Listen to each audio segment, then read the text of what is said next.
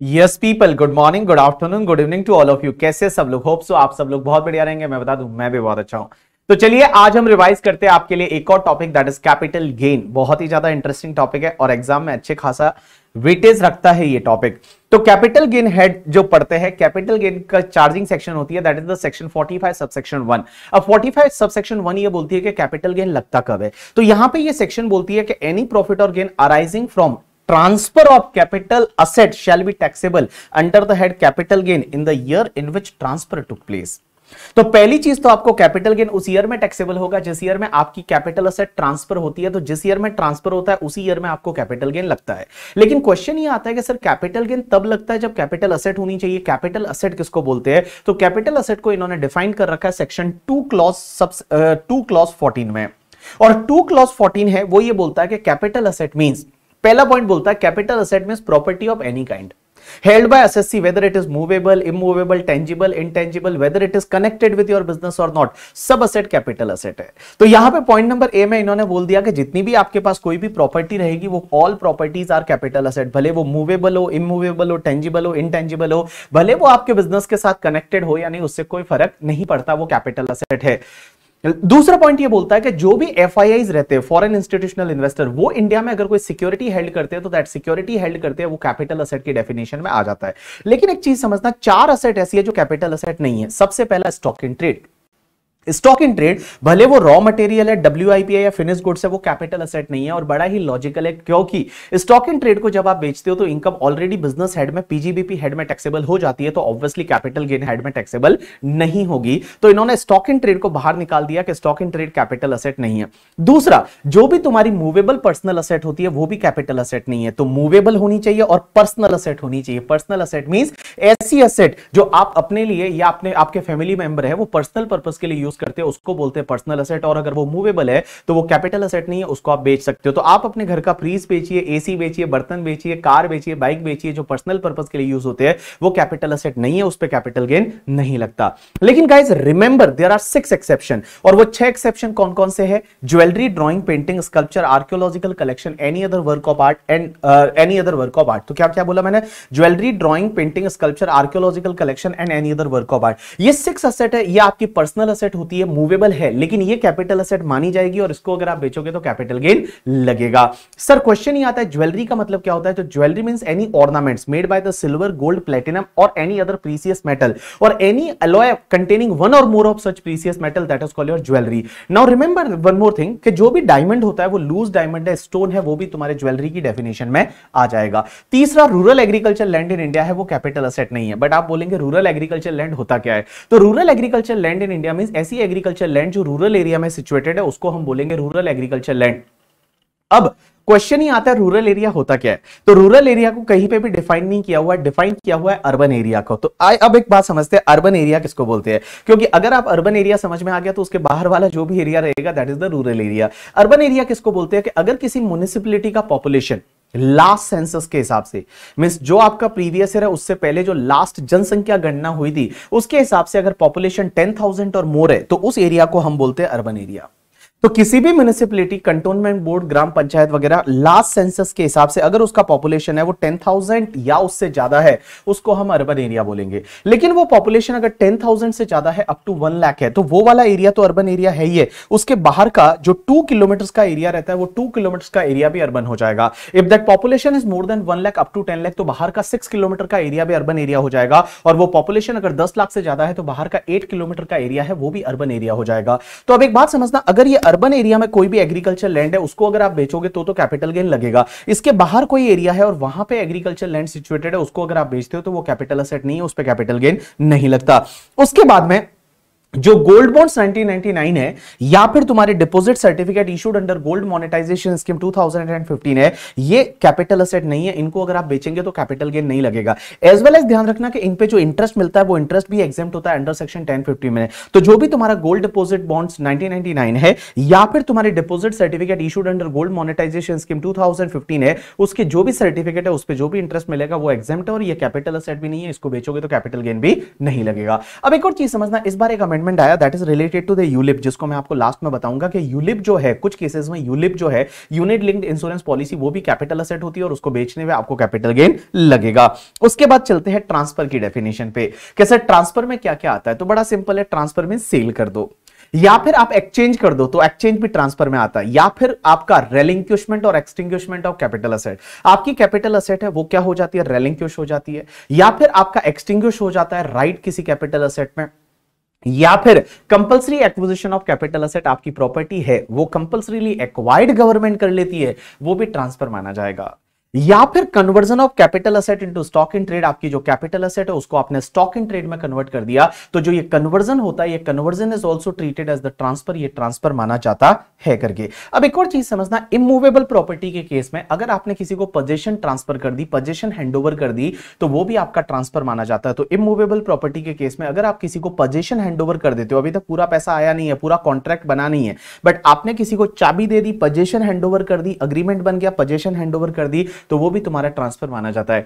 एक और चीज़ समझना कि जो ये कोऑपरेटिव हाउसिंग सोसाइटी वगैरह होती है ना, उसमें क्या होता है? प्रॉपर्टी जो है, वो प्रॉपर्टी की ओनर जो है रजिस्टर्ड ओनर है, वो कोऑपरेटिव सोसाइटी रहती है। बट आपके पास में उसका शेयर सर्टिफिकेट रहता है। वो शेयर सर्टिफिकेट या शेयर है, वो आपने किसी को ट्रांसफ़र कर दिया तो उस केस में ये माना जाएगा कि प्रॉपर्टी का ट्रांसफ़र हो गया and last part is redemption of zero coupon bonds जो ज़ीरो कूपन बॉन्ड्स है, उसका रिडेम्शन है, वो भी ट्रांसफ़र माना जाता है और उस केस में भी कैपिटल गेन लगता है। असेट है, वो दो तरह की होती है, दो टाइप की होती है। एक लॉन्ग टर्म कैपिटल असेट एक short term capital asset because क्या होता है, दोनों पे टैक्स रेट अलग अलग होती है, इसके लिए लॉन्ग टर्म और शॉर्ट टर्म को अलग करना बड़ा ही ज़रूरी है।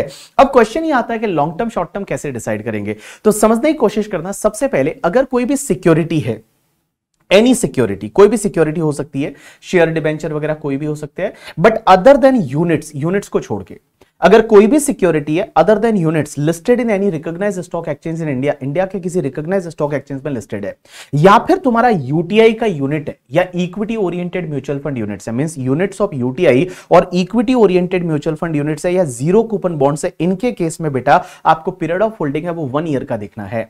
अगर आपने वन ईयर से ज़्यादा हेल्ड किया है तो उस केस में ये लॉन्ग टर्म होगा और वन ईयर या उससे कम हेल्ड किया है तो उस केस में शॉर्ट टर्म होगा। तो मैंने क्या बोला?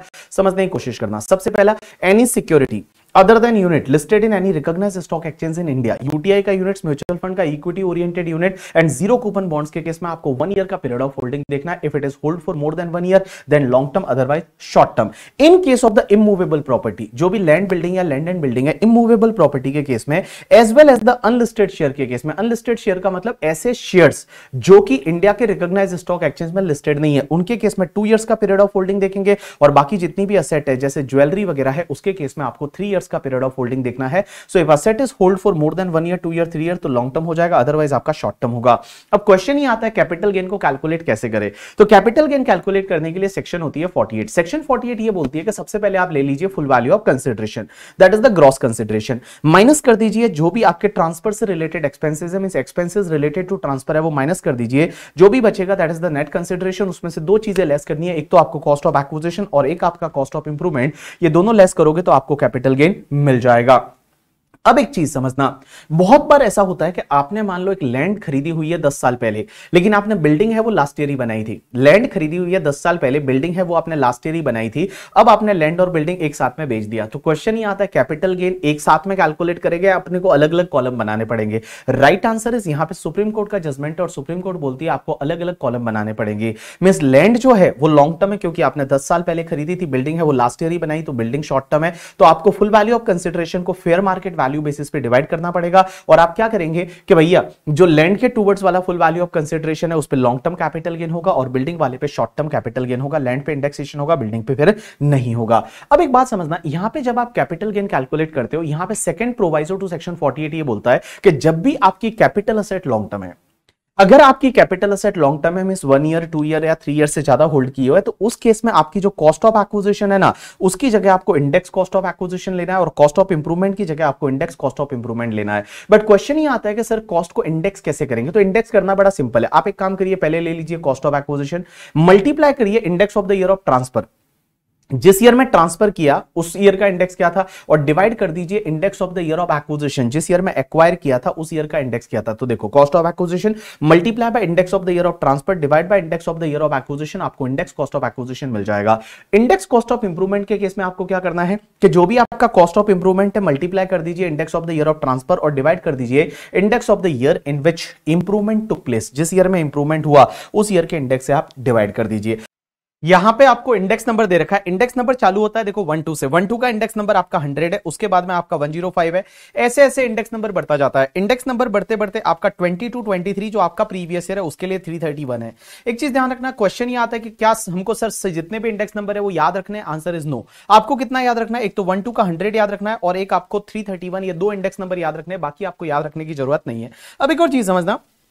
यहाँ पे एक चीज़ ये है कि one four two thousand one से पहले का कोई भी कैपिटल असेट होता है ना तो उसके लिए कॉस्ट क्या लेते हैं? जो भी उसकी कॉस्ट है और fair market value which fair market value as on one four two thousand one whichever is higher क्योंकि इंडेक्स नंबर देखिए आप वन टू से चालू हुआ तो वन टू से पहले वाली कोई भी असेट है mean one four two thousand one से पहले कोई एक्वायर की हुई है तो उसके लिए आपको लेना है जो भी उसकी एक्चुअल कॉस्ट होती है और F M V as on one four two thousand one whichever is higher है, वो आपको कॉस्ट लेनी है। एक और चीज़ समझना, one four two thousand one से पहले का अगर कोई भी इंप्रूवमेंट है ना, वो इग्नोर करना। क्योंकि वो इंप्रूवमेंट ऑलरेडी आपके F M B as on one four two thousand one में आ जाता है। तो जब F M B as on one four two thousand one में ऑलरेडी आ जाता है तो उस पर्टिकुलर केस में जो भी इंप्रूवमेंट आप before one four two thousand one करवाते हैं, वो आपको क्या करना पड़ेगा? इग्नोर करना पड़ेगा। You have to ignore that improvement अब एक चीज़ समझना, एक फ़र्स्ट प्रोवाइजर टू सेक्शन 48 होता है। इंटरमीडिएट के लिए ज़्यादा ज़रूरी है नहीं बट जो दे रखा है, वो मैं आपको बता देता हूँ। देखो नॉर्मली क्या होता है, आप कैपिटल गेन कैलकुलेट करते हो, वो इंडियन करेंसी में करते हैं हम।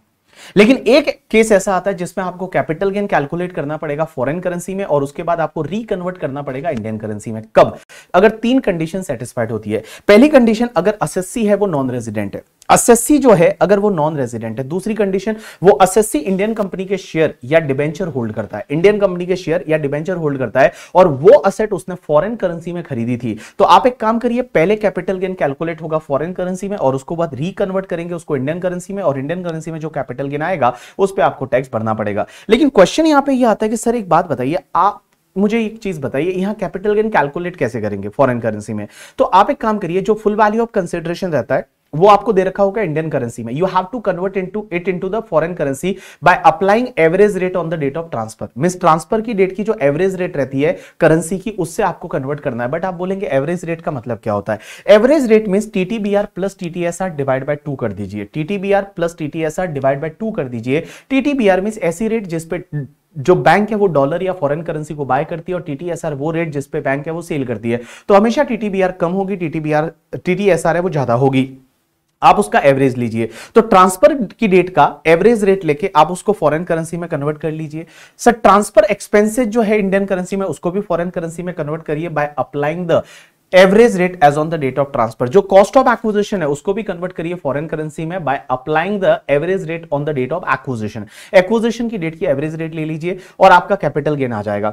अब यहाँ पे एक चीज़ समझना, जो फॉरेन करेंसी में आपका कैपिटल गेन आएगा तो उसको आप इंडियन करेंसी में कन्वर्ट करेंगे by applying TTBR on the date of transfer यहाँ पे एक और बेनिफिट दिया, जैसे तीन जगह तो आपकी एवरेज रेट चल रही थी बट यहाँ पे एक बेनिफिट दिया कि जो कैपिटल गेन है, उसको वापस से इंडियन करेंसी में कन्वर्ट करेंगे, जो कम वाली रेट रहेगी ट्रांसफ़र की डेट की that is TTBR as on the date of transfer से उसको इंडियन करेंसी में कन्वर्ट करेंगे और इंडियन करेंसी में जो भी कैपिटल गेन आएगा, उस कैपिटल गेन पे आपको टैक्स भरना पड़ेगा।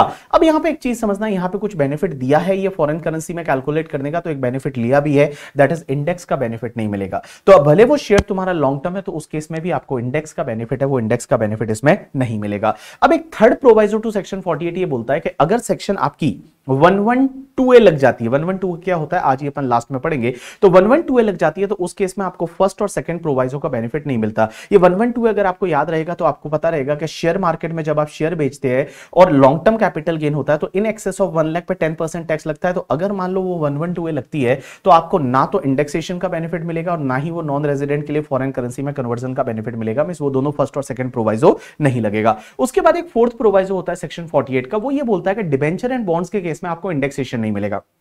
Reason being because debenture bonds की वैल्यू बढ़ती नहीं है। तो डिबेंचर एंड बॉन्ड्स भले लॉन्ग टर्म है तो भी आपको इंडेक्स का बेनिफिट नहीं मिलेगा, लेकिन उसके दो एक्सेप्शन है। एक तो तुम्हारा capital index bonds capital index bonds और दूसरा sovereign gold bond issued by the RBI जो sovereign gold bond issued by RBI है एंड कैपिटल इंडेक्स बॉन्ड्स है, वो दो ऐसे बॉन्ड्स है जिसके केस में अगर लॉन्ग टर्म है तो आपको इंडेक्स का बेनिफिट मिलेगा। एक और चीज़ समझना, जो sovereign gold bond issued by RBI होता है ना, अगर उसका रिडम्शन होता है तो रिडम्शन तो टैक्स फ्री है पूरा।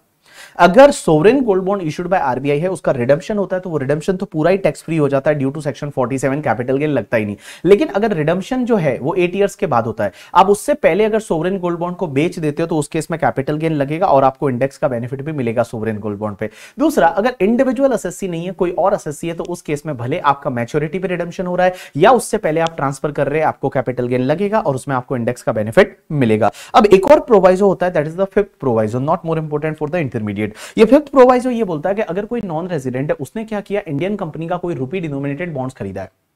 इंडियन कंपनी का कोई रूपी डिनोमिनेटेड बॉन्ड्स खरीदा और वो रूपी डिनोमिनेटेड बॉन्ड्स का अगर रिडम्शन होता है, क्या होता है? रिडम्शन होता है। रूपी डिनोमिनेटेड बॉन्ड्स का रिडम्शन होता है और रिडम्शन के टाइम पे इंडियन करेंसी है, वो एप्रिशिएट हो जाती है अगर। इंडियन करेंसी है, वो एप्रिशिएट हो जाती है स्ट्रांग हो जाती है और उसकी वजह से अगर कोई कैपिटल गेन आ रहा है तो उस केस में वो कैपिटल गेन पे कोई भी टैक्स नहीं लगेगा, ऐसा इस प्रोवाइजो में बोला हुआ है। उसके बाद जो सिक्स प्रोवाइजो है, वो अपन डिस्कस करेंगे सेक्शन 47 के साथ में और सेवंथ प्रोवाइजो अभी अपन डिस्कस करते हैं। सेवेंथ प्रोवाइजो ये बोलता है कि जो भी एसटीटी होता है ना सिक्योरिटी ट्रांजैक्शन टैक्स वो यहाँ पे अलाउ नहीं होता कैपिटल गेन में। तो जब भी आप शेयर खरीदते हैं या शेयर बेचते हैं और उस टाइम पे आप एसटीटी पे करते हैं सिक्योरिटी ट्रांजैक्शन टैक्स वो आपका अलाउबल एक्सपेंडिचर नहीं है। इसका मतलब ये हुआ कि अगर आप ट्रांसफ़र के टाइम पे पे करेंगे तो वो ट्रांसफ़र एक्सपेंसेस नहीं माना जाएगा और अगर आप एक्विजिशन के टाइम पे पे करेंगे तो वो आपकी कॉस्ट ऑफ़ एक्विजिशन में नहीं आएगा। जैसे मान लो टेन करोड़ है, वो टेन करोड़ के आपने शेयर बेचे और उस पर आपने टू लाख का सिक्योरिटी ट्रांजेक्शन टैक्स पे किया। Full value of consideration ten crore आएगा और नेट कंसिडरेशन भी टेन करोड़ ही आएगा। या फिर आपने कोई शेयर खरीदे फाइव करोड़ पे और उस पर वन लैख का एसटीटी है so five crore is your cost of acquisition लेंगे, उस वन करोड़ को अपन इग्नोर करेंगे तो एसटीटी को आपको इग्नोर करना है under the topic capital gain अब एक और चीज़ समझना। सर हमको एक बात बताइए कि कॉस्ट ऑफ़ एक्विजिशन है वो कैसे कैसे निकालेंगे? तो कॉस्ट ऑफ़ एक्विजिशन में नॉर्मली क्या होता है जो असेट जितने में आप परचेज करते हो और परचेज करने के बाद उस पर जो भी खर्चे करते हो जैसे मान लो रजिस्ट्रेशन का खर्चा आ, क्या बोलते हैं स्टेम ड्यूटी वैल्यू जो आप पे करते हो परचेज करते टाइम वो सब आपके कॉस्ट ऑफ़ एक्विजिशन का पार्ट होता है। लेकिन कुछ स्पेसिफिक असेट है उसके लिए कॉस्ट ऑफ़ एक्विजिशन इन्होंने बोला आपको निल लेना पड़ेगा। इसको आप ऐसे याद रखेंगे कि इंटेंजिबल असेट के केस में।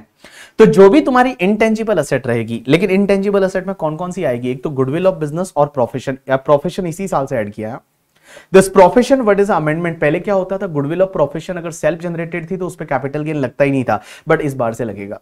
तो देखिए, अगर गुडविल ऑफ़ बिज़नेस है, या गुडविल ऑफ़ प्रोफेशन है, या ट्रेडमार्क है ब्रांड नेम है, या right to manufacture produce process any article and things इसका मतलब होता है पेटेंट कॉपीराइट या फिर right to carry on any business and profession tenancy right loom arts route permit and तुम्हारा रूट परमिट एंड लूमर्स इनके केस में, ये जो आपके छह सात इंटेंजिबल असेट है कौन कौन सी सबसे पहला? गुडविल ऑफ़ बिज़नेस और प्रोफेशन दूसरा ट्रेडमार्क और ब्रांड नेम तीसरा, तुम्हारा क्या है? पेटेंट कॉपीराइट चौथा, क्या है? Right to carry on any business and profession tenancy right loomers and route permit इनके केस में, आपकी कॉस्ट ऑफ़ एक्विजिशन क्या आएगी? देखो, बड़ा सिंपल है। आपने खुद ने जनरेट किया सेल्फ जनरेटेड है तो कॉस्ट आप निल लेंगे, लेकिन अगर आपने परचेस किया हुआ है तो परचेस प्राइस उसकी कॉस्ट ऑफ़ एक्विजिशन बन जाएगी। एक चीज़ ध्यान रखना, इन असेट के केस में आपको F M B as on one four two thousand one का बेनिफिट नहीं मिलेगा। F M B as on one four two thousand one का बेनिफिट नहीं मिलेगा कि एफ़ आपकी गुडविल की F M B as on one four two thousand one कितनी थी, उसका बेनिफिट आपको नहीं मिलेगा। एक बात बता दू, पहले क्या होता था, जो सेल्फ जनरेटेड गुडविल प्रोफेशन की थी ना, उस पर टैक्स नहीं लगता था करके, ठीक है असेसमेंट ईयर बीस इक्कीस तक नहीं लगता था। बट इसी साल निर्मला सीतारमन जी ने अमेंडमेंट किया कि असेसमेंट ईयर इक्कीस बाईस से अगर गुडविल ऑफ़ प्रोफेशन आप बेचेंगे, जो सेल्फ जनरेटेड है तो भी उस पर टैक्स लगेगा, उसकी कॉस्ट आपको निल लेनी है। अब एक और चीज़ समझना, पहले आपको पता है कि गुडविल पे डेप्रीशिएशन मिलता था। मैंने पीजीबीपी में आपको सिखाया कि अब गुडविल पे डेप्रीशिएशन नहीं मिलेगा और वो गुडविल पे डेप्रीशिएशन प्रीवियस है 2021 से नहीं मिलेगा। तो सर वो गुडविल पे डेप्रीशिएशन अब नहीं मिल रहा है। अगर अपन उसको बेचते हैं कैपिटल गेन लगेगा तो कॉस्ट क्या लेंगे? तो कॉस्ट क्या लेंगे? जितने में आपने गुडविल खरीदी थी। और माइनस कर दो प्रीवियस ईयर नाइनटीन तक आपने कितना डेप्रीशिएशन लिया, वो आप माइनस कर दो, जो बचेगा, वो आपका कॉस्ट बन जाएगा। उसके बाद में sir bonus share and security का कॉस्ट क्या लेते तो बोनस शेयर का कॉस्ट हमेशा आपको निल लेना है, क्योंकि उसकी कॉस्ट लगती नहीं है। लेकिन एक चीज़ समझना, अगर bonus share one four two thousand one से पहले वाला है। बोनस शेयर है, वो bonus share one four two thousand one से पहले अलॉट हुआ है। तो क्या होता है, जब कोई भी asset one four two thousand one के पहले वाली है तो अपने पास ऑप्शन है ना कि कॉस्ट और F M whichever is higher ले ले। तो बोनस शेयर अगर one four two thousand one से पहले अलॉट हुआ है तो उस केस में जो F M V as on one four two thousand one रहेगा ना, वो उसकी कॉस्ट ऑफ़ एक्विजिशन बन जाएगा। और बेटा, हमेशा ध्यान रखना शेयर एंड सिक्योरिटी के केस में ऑलवेज आपका पीरियड ऑफ़ होल्डिंग स्टार्ट होगा from the date of allotment आपको अलॉटमेंट कब हुआ, वो अलॉटमेंट की डेट से आपका पीरियड ऑफ़ होल्डिंग है, वो स्टार्ट होगा। अब बात करते हैं राइट शेयर की। राइट शेयर क्या होता है कि कंपनी आपको राइट right देती है कि चलो आप चाहे तो शेयर है, वो रीजनेबल रेट में परचेस कर सकते हैं कंपनी से। That is called right share तो राइट right शेयर के केस में अगर शेयर होल्डर खुद ही एक्वायर कर लेता है, जैसे मैं शेयर होल्डर हूँ, मैंने ही राइट शेयर कंपनी से ले लिया तो मेरी कॉस्ट क्या आएगी? जितना मैंने अमाउंट कंपनी को पे किया, जितना मैंने अमाउंट कंपनी को पे किया that is my cost of acquisition of that share और पीरियड ऑफ़ होल्डिंग कहाँ से आएगा? अलॉटमेंट की डेट से। दूसरा, अगर मान लो राइट शेयर मुझे नहीं चाहिए और मैंने क्या किया? वो राइट right को रिनाउंस कर दिया किसी को। किसी और को राइट दे दिया, उस राइट को रिनाउंस कर दिया तो लॉ मेकर्स बोलते हैं कि इस पे भी कैपिटल गेन लगेगा। ये रिनाउंसमेंट ऑफ़ द राइट है ना। इसी को रेलिंक्यूशमेंट ऑफ़ कैपिटल असेट बोलते हैं तो इस पे भी कैपिटल गेन लगेगा। और full value of full value of consideration क्या आ जाएगा पता है? रिनाउंसमेंट प्राइस जितने में मैंने आगे वाले को किसी को राइट बेचा था। और माइनस कॉस्ट क्या आएगा? नील राइट का कोई कॉस्ट तो लगा नहीं था। और यहाँ पे आपका कैपिटल गेन होगा। और हमेशा ध्यान रखना, ये हमेशा शॉर्ट टर्म कैपिटल गेन होगा। क्यों शॉर्ट टर्म कैपिटल गेन होगा? क्योंकि जिस दिन आपको राइट मिला था और आपने किसी को राइट को रिनाउंस किया, उसके बीच में पीरियड ऑफ़ होल्डिंग है, वो कभी भी तीन साल से ज़्यादा नहीं हो सकता। क्योंकि देखिए ना, वहाँ तो नाइनटी वन ट्वेंटी डेज़ में आपका under subscription over subscription and all हो जाता है। तो राइट जिस दिन आपको ऑफ़र किया और राइट जिस दिन आपने रिनाउंस किया, उसके बीच का राइट का जो पीरियड ऑफ़ होल्डिंग है, वो कभी भी तीन साल से ज़्यादा नहीं होगा। तो यह हमेशा आपका क्या होगा? शॉर्ट टर्म अब एक बात समझना। जो बंदे ने आपसे राइट खरीदा है, उसकी कॉस्ट क्या होगी शेयर की? तो एक तो जितना वो कंपनी को पे करेगा, वो और दूसरा, आपको जितना राइट के लिए पे किया, दोनों की टोटल करेंगे, वो कॉस्ट ऑफ़ एक्विजिशन होगा। तो जो परचेजर ऑफ़ राइट है, उसके लिए शेयर की कॉस्ट क्या होगी? जितना उसने कंपनी को पे किया और जितना आपको पे किया राइट खरीदने के लिए, उन दोनों की टोटल कर देंगे।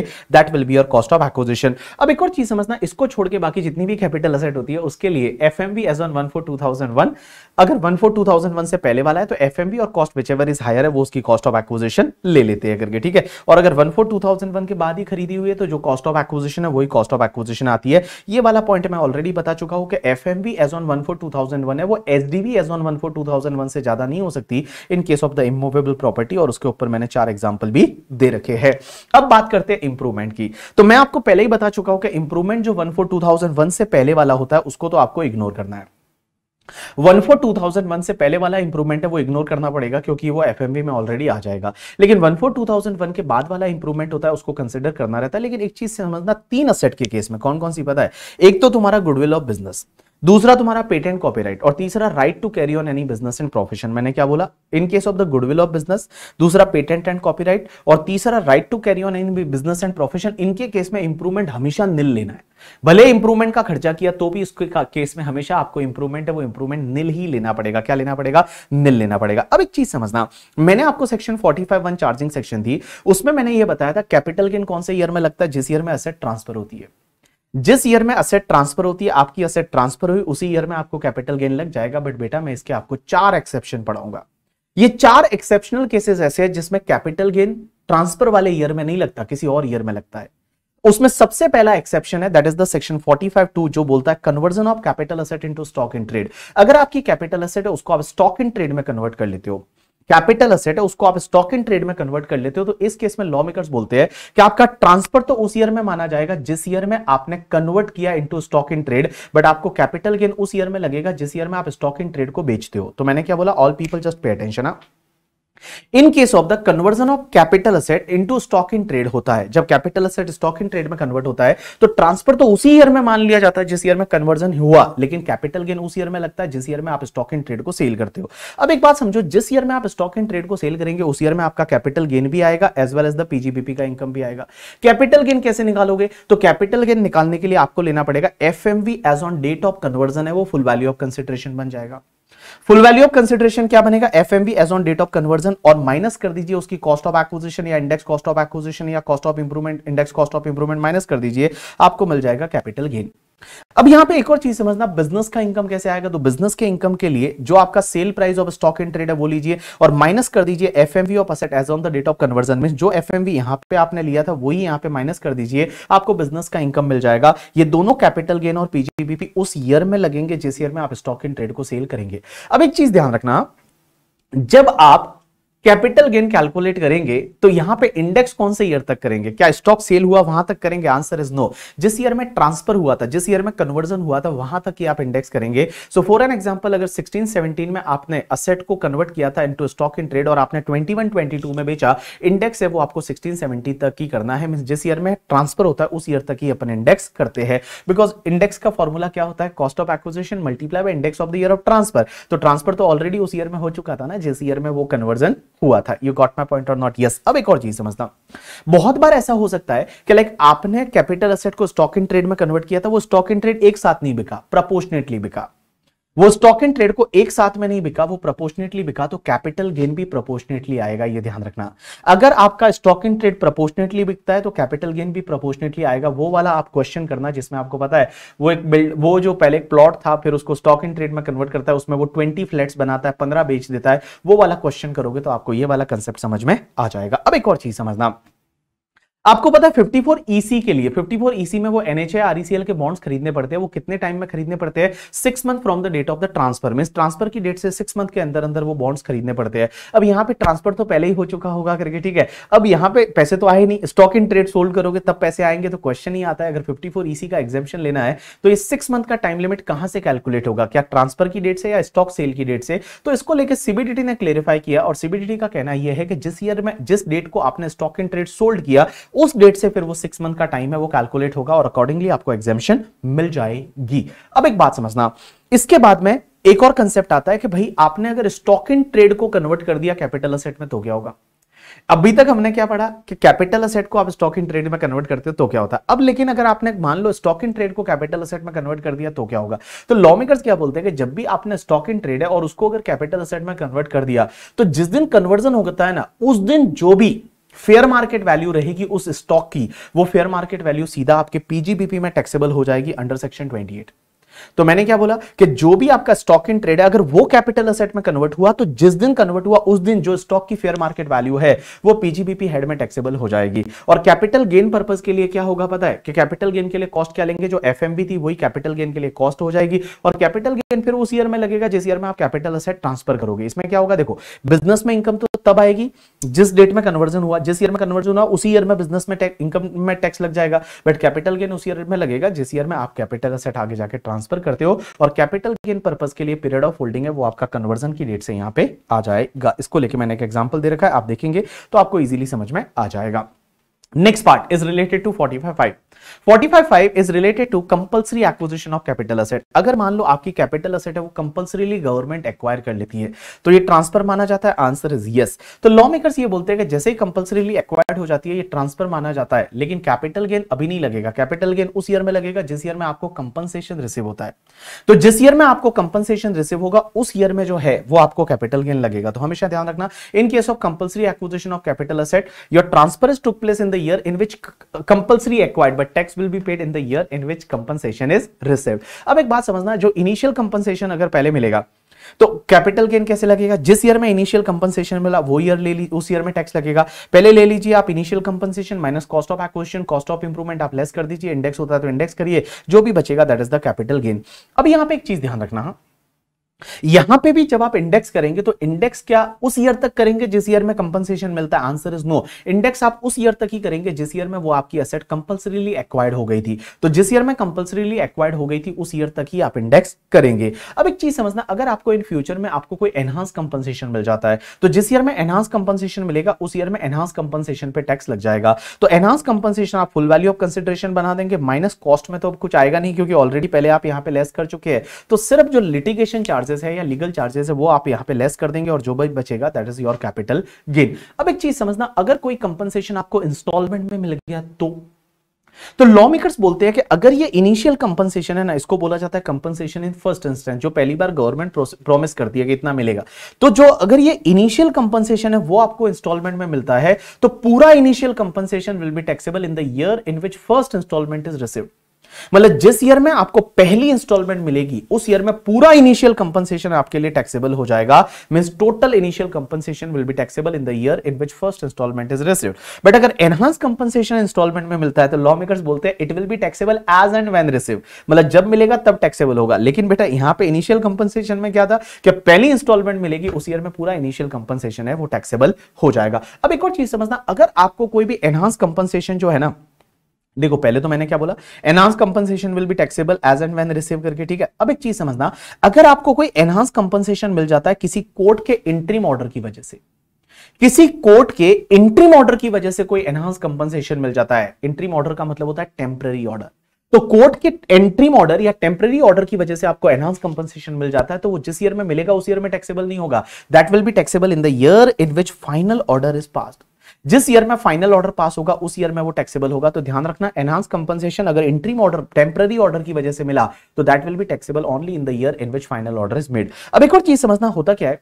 एक दूसरा एक्ट होता है जिसको, जिसका नाम है, बड़ा ही भारी नाम है that is right to fair compensation transparency in the land acquisition rehabilitation resettlement act 2013 that is are इतना बड़ा एक्ट का नाम है। अब एक बात समझना, ये जो एक्ट है ना, इस एक्ट की एक सेक्शन होती है 96 उसमें बोला हुआ है कि कुछ कंपलसरी एक्विजिशन पे टैक्स नहीं लगेगा। कुछ कंपलसरी एक्विजिशन ऐसे होते हैं जिसमें टैक्स नहीं लगेगा, ऐसा उस पर्टिकुलर एक्ट में बोला हुआ है, लेकिन इनकम टैक्स में ऐसी कोई एग्जामेशन दे नहीं रखी थी। तो डाउट यहाँ पे ये यह आया कि जब इनकम टैक्स में तो ऐसी कोई एग्जामेशन है नहीं, लेकिन उस पर्टिकुलर एक्ट में ऐसा बोला हुआ है तो क्वेश्चन ही आता है, क्या इनकम टैक्स में इस पर एग्जामेशन मिल जाएगी या नहीं? आंसर इज़ यस तो यहाँ पर सीबीडीटी ने क्लेरिफिकेशन दिया कि इनकम टैक्स में भी एग्जामेशन मिल जाएगी, कोई दिक्कत नहीं है। अब एक और चीज़ समझना, जब आपको लेट कंपनसेशन मिलता है ना तो बहुत बार आपको इंटरेस्ट भी मिलता है। अब क्वेश्चन ही आता है कि हमको लेट कंपनसेशन पे जो इंटरेस्ट मिलता है, वो कहाँ टैक्सेबल होगा? वो आईएफओएस में टैक्सेबल होगा। इनकम फ्रॉम अदर सोर्सेज में टैक्सेबल होगा और हमेशा ध्यान रखना, जब आप इनकम फ्रॉम अदर सोर्सेज में टैक्सेबल करेंगे तो आपको 50 परसेंट का स्टैंडर्ड डिडक्शन मिल जाएगा। मीन जितना इंटरेस्ट आपको मिलता है, उसमें से 50 परसेंट है, वो सीधा फ्लैट लेस हो जाएगा। सपोज़ फॉर एन एग्ज़ाम्पल आपको वन लाख का इंटरेस्ट मिला तो only fifty thousand is taxable और और कोई खर्चे अलाउ नहीं होंगे। जैसे उसके इंटरेस्ट के रिकवरी के कुछ खर्चे वगैरह हुए तो वो सब अलाउ नहीं होंगे। फ्लैट फिफ्टी का स्टैंडर्ड डिडक्शन मिल जाएगा। उसके बाद एक सेक्शन होती है forty five A forty five one A ये बोलती है कि अगर कोई भी असेट है, उसका डिस्ट्रक्शन हो जाता है या डैमेज हो जाती है। तो भी क्या कैपिटल गेन लगेगा क्या? तो यहाँ लॉ मेकर्स बोलते हैं किसी असेट का डिस्ट्रक्शन हो जाता है या डैमेज हो जाती है चार रीजन की वजह से। या तो नेचुरल कैलेमिटी आ जाती है। नेचुरल कैलेमिटी का मतलब होता है फ्लड है अर्थक्विक है that is called natural calamity act of God बोल सकते हो। या फिर फायर एक्सप्लोजन हो जाता है, या राइट हो जाता है, दंगे हो जाते हैं अगर, या एनिमी अटैक हो जाता है। तो ये चार रीजन की वजह से अगर आपकी कोई असेट है, वो डिस्ट्रक्ट होती है और आपको इंश्योरेंस क्लेम रिसीव्ड होता है। वापस बोल रहा हूँ। चार reason natural calamity riot enemy attack and fire explosion उसकी वजह से असेट डिस्ट्रक्ट होती है और आपको इंश्योरेंस क्लेम रिसीव्ड होता है तो उस केस में कैपिटल गेन लगेगा। अब एक चीज़ समझना, जब कैपिटल गेन कौन से ईयर में लगेगा? तो ट्रांसफ़र तो उस ईयर में माना जाएगा जिस ईयर में आपका डिस्ट्रक्शन हुआ था, लेकिन आपको कैपिटल गेन उस ईयर में लगेगा जिस ईयर में आपको कंपनसेशन रिसीव होता है। जिस ईयर में आपको कंपनसेशन रिसीव होता है, उस ईयर में आपको कैपिटल गेन लगेगा और जिस ईयर में डिस्ट्रक्शन हुआ था, उस ईयर में वो ट्रांसफ़र माना जाएगा। अब एक और चीज़ समझना है यहाँ पर यहाँ पे अगर बहुत बार क्या होता है कि इंश्योरेंस क्लेम में आपको कोई और असेट मिल जाती है तो तो जो असेट आपको मिल रही है, उसका फेयर मार्केट वैल्यू आपका फुल वैल्यू ऑफ़ कंसिडरेशन बन जाएगा। यू गॉट माय पॉइंट और नॉट यस अब एक और चीज़ आती है 45 फाइव फाइव ए ये सेक्शन बोलती है JDA that is joint development agreement joint development agreement क्या होता है कि बहुत बार आपके पास में कोई प्लॉट है या घर है, आप बिल्डर के साथ अग्रीमेंट करते हो बिल्डर है, वो आपकी प्रॉपर्टी ले लेता है, उस पर कोई बिल्डिंग बनाता है, और उस बिल्डिंग में आपको कुछ ना कुछ शेयर देता है that is call your joint development agreement तो एक बात समझना नॉर्मली क्या होता है इमूवेबल प्रॉपर्टी के केस में जब भी आप ट्रांसफ़र करते हो किसी को इमूवेबल प्रॉपर्टी के केस में जैसे ही आपने किसी को पोजीशन हैंडओवर कर दी तो ये ट्रांसफ़र माना जाता है और इसमें कैपिटल गेन लग जाता है। लेकिन यहाँ पे एक बात बताइए, जैसे मैं हूँ, मैंने क्या किया? कोई मेरा प्लॉट था, मैंने बिल्डर को दे दिया बिल्डर बिल्डिंग बनाएगा, अब मैंने उसको पोजीशन तो हैंडओवर कर दी, अब ट्रांसफ़र तो माना जाएगा, लेकिन कैपिटल गेन अभी लगाना तो सही नहीं रहेगा ना। अभी लगाना तो सही नहीं, मेरे पास पैसा आया ही नहीं, मेरे पास प्रॉपर्टी आई नहीं। तो लॉ मेकर्स बोलते हैं, यहाँ पे इन्होंने एक सेक्शन बनाई और ये सेक्शन सिर्फ़ इंडिविजुअल एच के लिए है, बाकी के लिए नहीं है। ये सेक्शन ये बोलती है कि अगर कोई इंडिविजुअल एच है जिसके पास में कोई इमूवेबल प्रॉपर्टी है इमूवेबल प्रॉपर्टी मीन लैंड है बिल्डिंग है या लैंड एंड बिल्डिंग है, और वो बिल्डर के साथ में जॉइंट डेवलपमेंट अग्रीमेंट में एंटर करता है और जॉइंट डेवलपमेंट अग्रीमेंट में एंटर करके, और वो क्या करता है कि वो बिल्डिंग या जो आपके पास में क्या बोलते हैं बिल्डर को इमूवेबल प्रॉपर्टी ट्रांसफ़र कर देते हैं। और उसके बदले में आपको क्या मिलेगा? उस प्रॉपर्टी में वो जो प्रोजेक्ट बनेगा उसमें कुछ ना कुछ शेयर मिलेगा।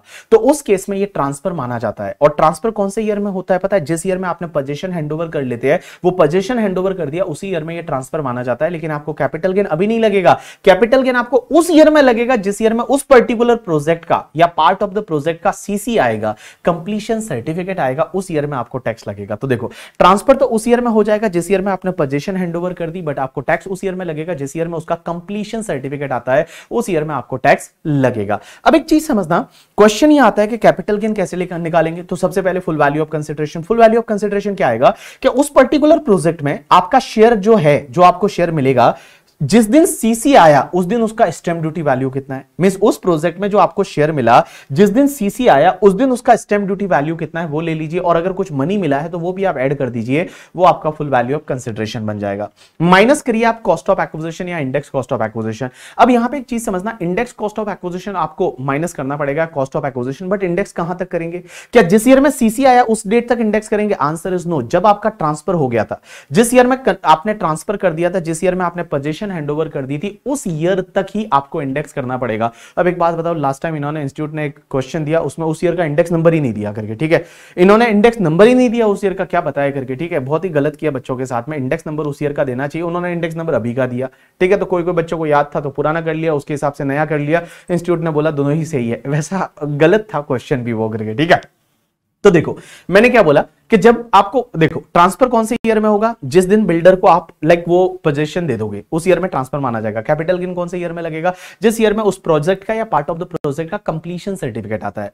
तो कंप्लीशन सर्टिफिकेट जिस डेट को आया, उस ईयर में टैक्सेबल हो जाएगा। और आपका फुल वैल्यू ऑफ़ कंसिडरेशन क्या होगा कि आपका उसमें शेयर कितना मिल रहा है? उसका एस कितना है? As on the date of the completion certificate वो ले लीजिए करके, ठीक है? और अगर कुछ मनी मिलता है तो वो भी ले लीजिए। और माइनस कर दीजिए, जो आपकी इमूवेबल प्रॉपर्टी आपने ट्रांसफ़र किया था, उसका cost of acquisition cost of improvement index cost of acquisition index cost of improvement है, वो आप लेस कर दीजिए, आपको मिल जाएगा कैपिटल गेन अब एक बात समझना, जो भी प्रोजेक्ट में आपको मिला था शेयर वो इन फ्यूचर में अगर आप जाके बेचते हैं तो फिर उसकी कॉस्ट ऑफ़ एक्विजिशन क्या आएगी? तो मैं बोलू, जो आपका फुल वैल्यू ऑफ़ कंसिडरेशन यहाँ पे था, जो आपका फुल वैल्यू ऑफ़ कंसिडरेशन था, वो फुल वैल्यू ऑफ़ कंसिडरेशन ही फिर उसकी कॉस्ट ऑफ़ एक्विजिशन बन जाएगी। और जब आपको पोजिशन हैंडओवर हुआ था, जब आपको वो नया प्रोजेक्ट में जो आपको मिला था असेट उसका जब आपको मिला था, वहाँ से उसका पीरियड ऑफ़ होल्डिंग लग जाएगा। यू गॉट माई पॉइंट और नॉट यस मैंने यहाँ पे दो एग्ज़ाम्पल दे रखे आप देखेंगे तो आपको इजीली समझ में आ जाएगा। अब एक चीज़ समझना, एक सेक्शन आती है फिफ्टी सी बड़ी इंटरेस्टिंग सेक्शन है।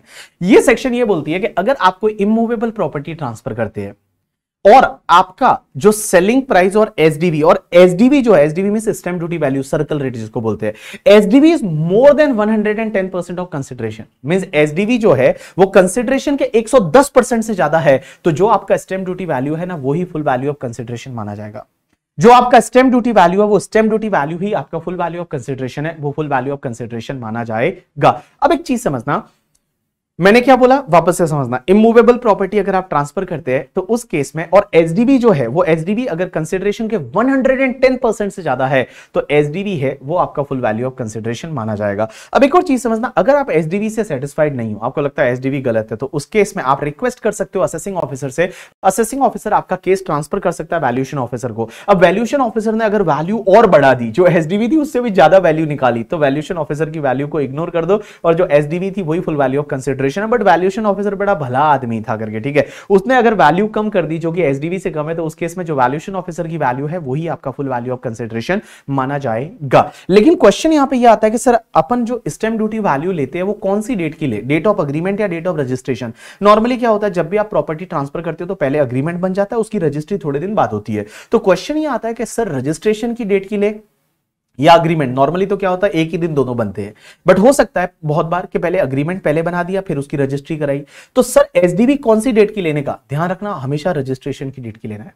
जिस दिन रजिस्ट्रेशन होता है, उसी दिन स्टैम्प ड्यूटी स्टैम्प ड्यूटी पे करता है बायर तो उसी दिन की सेलर को एसडीवी लेना है। लेकिन एक चीज़ ध्यान रखना लॉ मेकर्स बोलते हैं कि अगर रजिस्ट्रेशन की डेट और अग्रीमेंट की डेट अलग अलग है रजिस्ट्रेशन की डेट और अग्रीमेंट की डेट अलग अलग है और अग्रीमेंट की डेट पे सेलर को कुछ ना कुछ कंसिडरेशन मिल गया है। मैंने क्या बोला? अग्रीमेंट की डेट पे सेलर को कुछ ना कुछ कंसिडरेशन मिल गया है। By account payee cheque account payee demand draft और any mode of electronic clearing system तो उस केस में जो है, वो सेलर एसडीबी ले सकता है अग्रीमेंट की डेट की। तो देखो नॉर्मली रजिस्ट्रेशन की डेट की लेनी है, लेकिन रजिस्ट्रेशन की डेट और अग्रीमेंट की डेट अलग अलग है, और अग्रीमेंट की डेट या उससे पहले पहले सेलर को कुछ ना कुछ कंसिडरेशन मिल गया है by account payee cheque by account payee demand draft या any mode of electronic clearing system through bank account तो उस केस में आप अग्रीमेंट की डेट की एसडीबी ले सकते हैं, कोई दिक्कत नहीं है। लेकिन ये एनी अदर इलेक्ट्रॉनिक मोड में क्या क्या आते हैं तो मैं बताऊँ एनी अदर इलेक्ट्रॉनिक मोड में debit card credit card net banking IMPS UPI RTGS NEFT या भीम आधार क्यूआर कोड है, वो भी तुम्हारे एनी अदर इलेक्ट्रॉनिक मोड में आता है तो इन मोड से या फिर account payee cheque account payee demand draft से आपको अग्रीमेंट की डेट या उससे पहले पहले कुछ ना कुछ कंसिडरेशन मिल गया है तो आप अग्रीमेंट की डेट की एसडीवी ले सकते हैं। अब एक बात समझता है, एक सेक्शन होती है फिफ्टी सी फिफ्टी सी क्या बोलती है?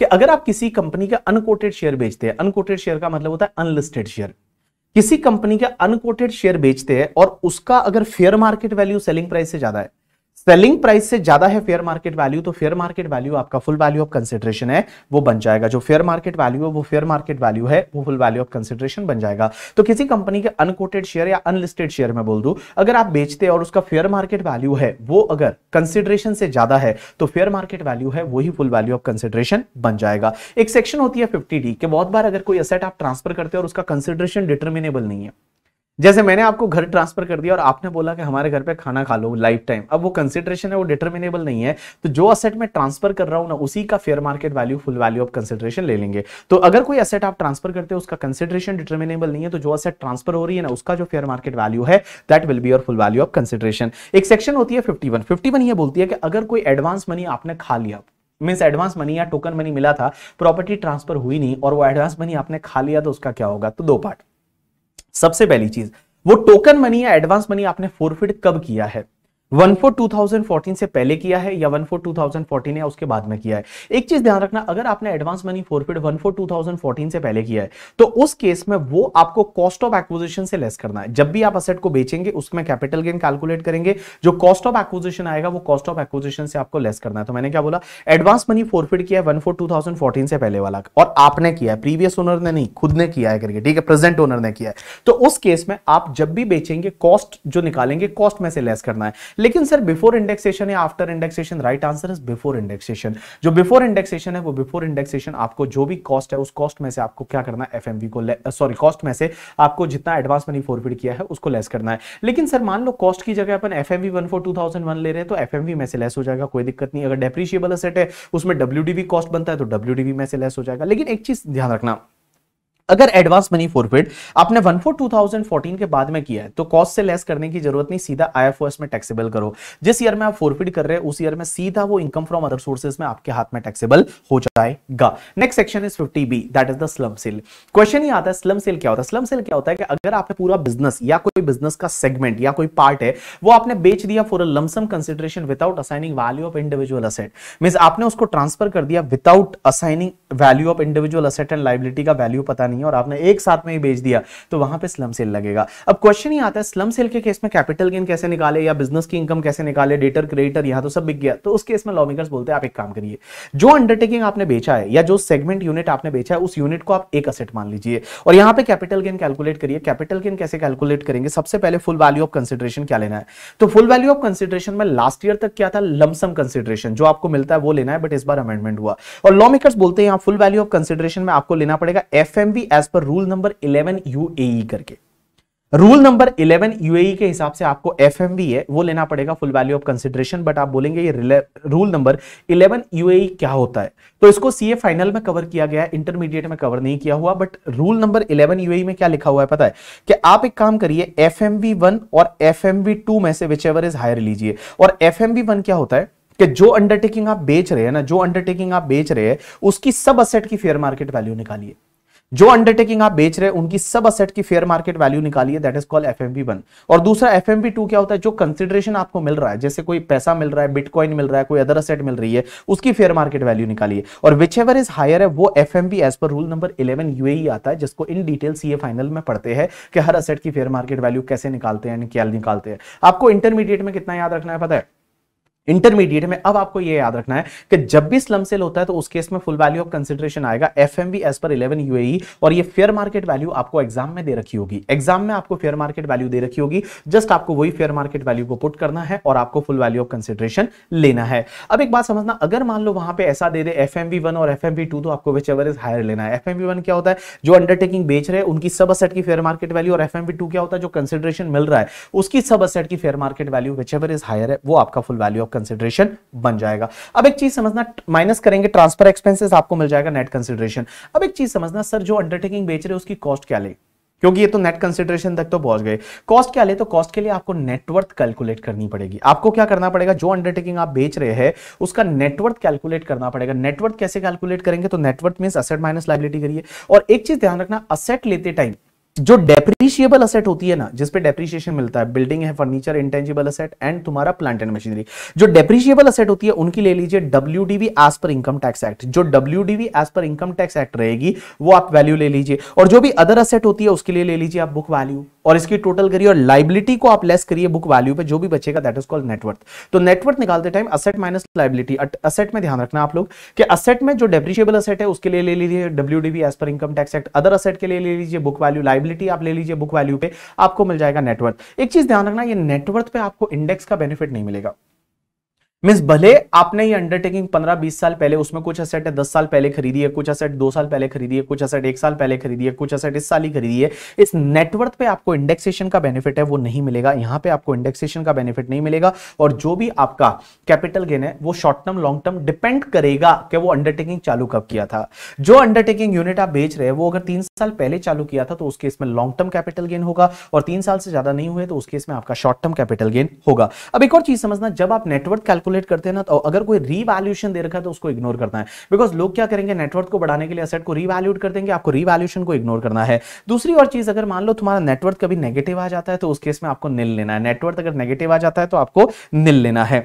अब जब आप ये स्लम सेल में बेचते हैं तो भले स्टॉक बिकता है तो भी आपका कैपिटल गेन में ही आएगा।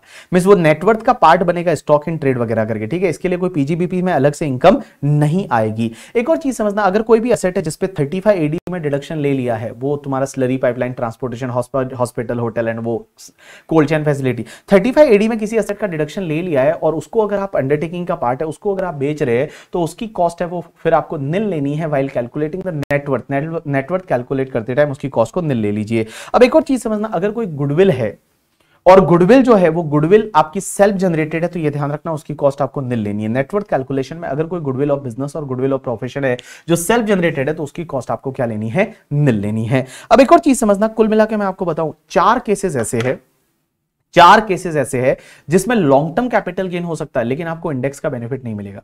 पहला तो capital gain in case of the non resident जो मैंने आपको पहले बताया था कि वो फॉरेन करेंसी में कैलकुलेट करते हैं। दूसरा डिबेंचर एंड बॉन्ड्स के केस में। और तीसरा स्लम सेल के केस में, और चौथा, तुम्हारा वन वन टू अगर सेक्शन लगता है तो उसमें लॉन्ग टर्म कैपिटल गेन हो सकता है बट इंडेक्स का बेनिफिट नहीं मिलेगा। एक सेक्शन होती है सेक्शन फोर्टी सेवन क्या बोलती है, बताए? कि कुछ ट्रांजेक्शन ऐसे होते हैं जो ट्रांसफ़र नहीं माने जाते, और उनके केस में कोई कैपिटल गेन नहीं लगता। ये ट्रांजेक्शन आप कर सकते हैं there is no transfer at all और यहाँ पे कोई भी कैपिटल गेन नहीं लगेगा। सर, ये कौन कौन से ट्रांजेक्शन होते हैं? सबसे पहला अगर आप कोई भी असेट किसी को भी गिफ्ट कर देते हो विल में दे देते हो, या इरिवोकेबल ट्रांसफ़र करते हो। मीन मैंने कोई असेट किसी को गिफ्ट कर दी तो ये ट्रांसफ़र नहीं है, इसमें कैपिटल गेन नहीं लगता। लेकिन इसका एक चीज़ ध्यान रखना, मेरे को कोई ईसॉप मिला हुआ है स्वेट इक्विटी शेयर है, वो अगर किसी को मैंने गिफ्ट दिया तो ट्रांसफ़र माना जाएगा और कैपिटल गेन लगेगा। तो देखो नॉर्मली मैं कोई भी असेट किसी को गिफ्ट या विल या इरिवोकेबल ट्रांसफ़र में दूँगा तो उस केस में ट्रांसफ़र नहीं है कैपिटल गेन नहीं लगेगा। But there is only one exception that is the that is the ESOP का अगर आप गिफ्ट देते हो। जो ईसॉप है, या स्वेट इक्विटी शेयर है, वो किसी को आप गिफ्ट गिफ्ट कर देते हो तो ये ट्रांसफ़र माना जाता है कैपिटल गेन लगता है।